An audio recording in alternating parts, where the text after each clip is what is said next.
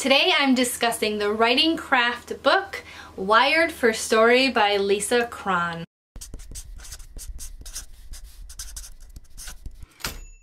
Now, according to the cover, Wired for Story is the writer's guide to using brain science to hook readers from the very first sentence. Lisa Cron is a story coach and author. She has worked as an agent, as a producer, and as a story consultant. She has been an instructor at UCLA since 2006, and she is also on the faculty for the School of Visual Arts MFA program in New York City. So I'd say she has the credentials, which is always important for me when I go into a writing craft book. Now I'm going to talk about the three major takeaways that I got from this book. And then I'm going to talk about the cons. A sign of a good writing craft book for me is finding those nuggets of information which are succinct enough yet inspiring for me to fit on a sticky note on my computer. I always find when I'm able to find these golden nuggets of information that they just strike something within me.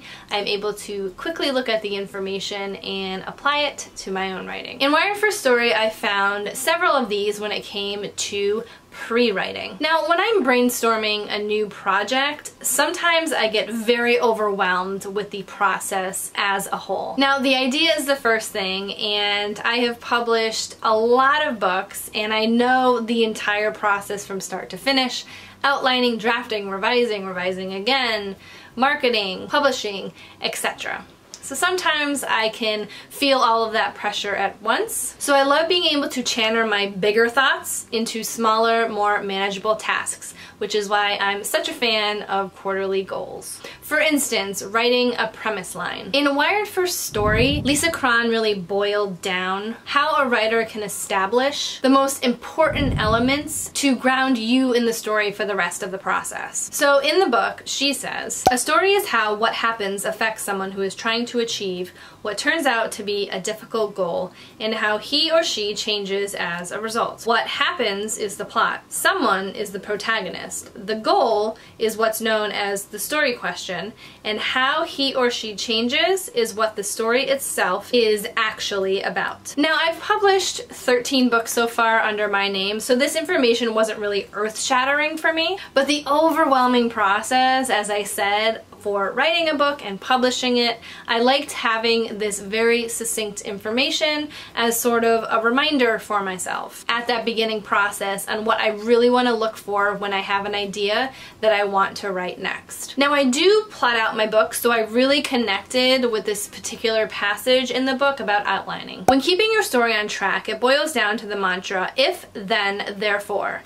If I put my hand in the fire, action, then I'll get burned reaction. Therefore, I'd better not put my hand in the fire, decision. Action, reaction, decision is what drives the story forward. It's one of those quick reminders when I'm writing my outline to keep the story moving to where it needs to be. For me, during this brainstorming process, I want to get the entire story out. So when I draft, I don't have too much to think about when I want to get all of the story down. Now my second takeaway was in scene work. I had a lot of notes on this one because I'm always trying to improve my craft now the next quote relates to the previous one that I mentioned about outlining. To progress this story, there are certain steps to follow to make sure you keep that cause and effect going. So she says, every scene must in some way be caused by a decision made in the scene that preceded it.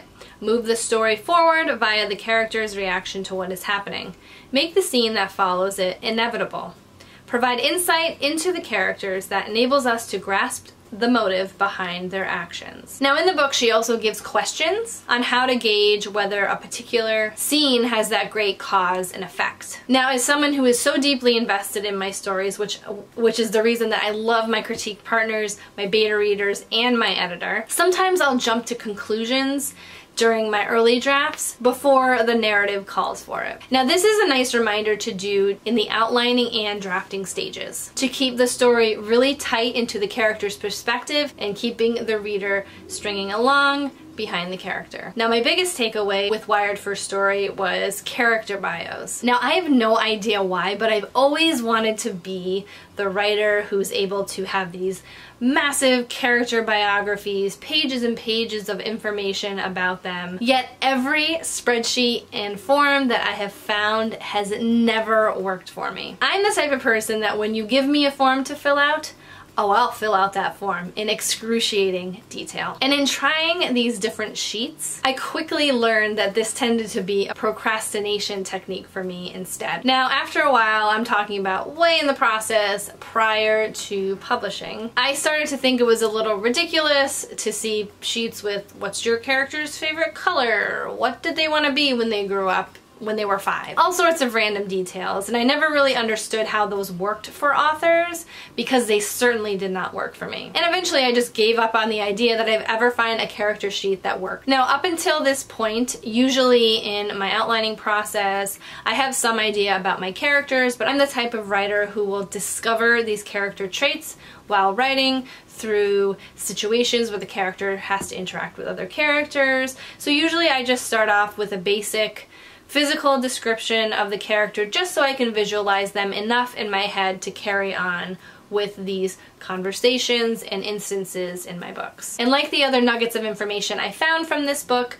when Lisa Cron talked about character bios, it was a light bulb moment for me. She said that as a writer, you should really just focus on the relevant information for the story to put in a character biography. And through the theme of brain science, she encourages you to dive into the character's psyche and do all of these character biographies for all of the major characters so that you're able to show how they interact with each other based on their beliefs at different parts of the story. Even if that information never appears in the narrative, now I'm not saying if you are the type of person who loves character biographies and character sheets and forms that that doesn't work. Just because they don't help me does not mean they can't help someone else. But this idea that it was okay not to do those types of specific sheets was a relief for me. That's the thing about the writing process. It's different in between every single writer you will ever know, which I think is pretty cool. And for some reason, I really needed to feel acknowledged to the fact that I did not need to fill out these forms myself and that my process isn't wrong, your process isn't wrong either. Now, moving forward with my own books, I'm interested in incorporating this into my process. I have already done it with my current project. I really have been taking notes for myself as I'm writing and putting them into these character biographies. Lisa Cron does mention that they don't always have to be pretty, they can be as messy as you want them. Just having the ability to dig deep into the relevant details of the story can really hone in, again, focusing on the story and the characters and not really worrying about all of the excess which may be a procrastination tool for someone like me. While Wired for Story had a lot of these fun nuggets of information that really spoke to me, I'm actually glad that I was able to get the audiobook of this craft book and also listen to it at a higher speed. I tend to listen to audiobooks at higher speed anyway, but for this one, it really helped. The only con for me was that some of the examples were extremely dense and sometimes repetitive throughout the book. Now, I have also read enough craft books in my writer life that I know what I'm looking for when I read a craft book. And the denser the example sometimes doesn't necessarily work for me. Sometimes I would prefer to have a smaller book getting right to the point versus a longer book with really, really dense examples. That con aside, I think this book is worth it to read